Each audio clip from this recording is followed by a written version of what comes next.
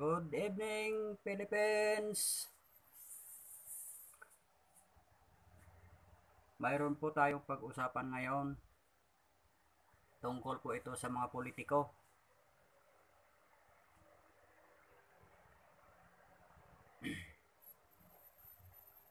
Ako po ay nalulungkot sa mga supporter ni President Duterte. Hindi lang nakapile si Mayor Sara ng COC niya. Pumunta na sa kabilang bakod. Parang mababaw po yata ang dahilan. Kasi ang sabi nila, mahal nila ang Presidente Duterte. Pero nakikita sa ano, sa balita, tsaka sa mga sa mga vlogger, marami nang lumipat sa kabilang bakod. Hindi po dapat ganoon. Kung totoo po tayong supporter ni Duterte, dapat kung sino man ang dadalhin niya i-endorso niya, dapat suportahan po natin.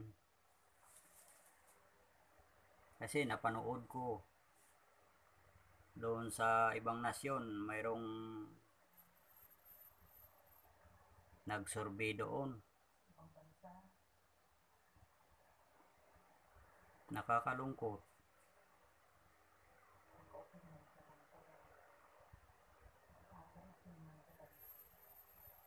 Narinig lang nila hindi nag-file si Mayor Sara. Bumaliktad na, pumunta na sa ano, sa ibang kandidato.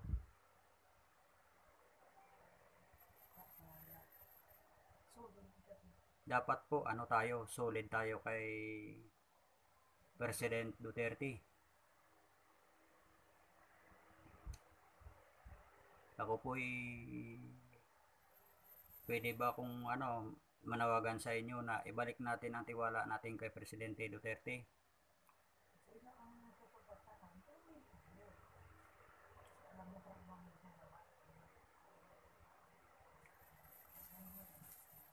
Kasi po sayang po ang ano ang boto natin kung ibibigay natin sa ibang kandidato.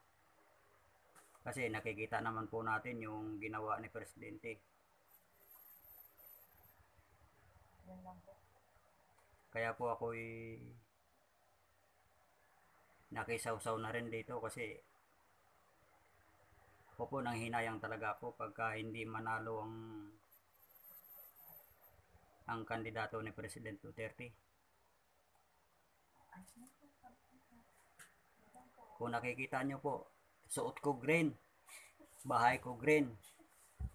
Yung pintuan ko, tatakpan ko rin ng green yan.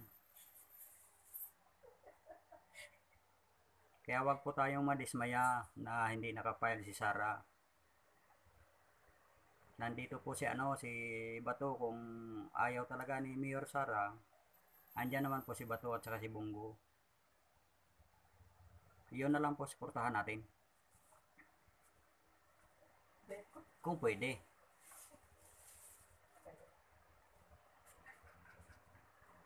Ibigay na ibigay po natin ang pinakamalakas nating boto kay eh, ano kay kay Bato tsaka kay Bongo. Si Bongo kahit bago lang maano siya marami siyang nagawa. Kahit po ako hindi ko itatago sa inyo. Yung malasakit center ni Senador Bongo nakakuha po ako doon. Kaya ako ay nagpapasalamat at saka dapat suportahan natin kasi yung taong matulungin dapat suportahan natin. Sana po ay sa mga OFW Sana solid po tayo. Ibalik po natin ang tiwala natin kay President Duterte. Hanggang dito lang po muna ang aking panawagan sa inyo. Salamat po.